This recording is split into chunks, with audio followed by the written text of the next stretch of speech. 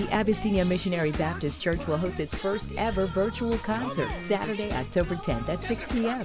The concert will feature Abyssinia's very own praise team. Also, presentations from Minister Darian Bolden Jr., including special guests Eric Carter and company, Pastor Maurice Jackson of Columbus, Ohio, and special guest Pastor John P. Kee and New Life.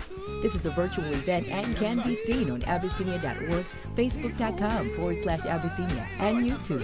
Please join us for the Spirit Lifting Show, Saturday, October 10th at 6 p.m.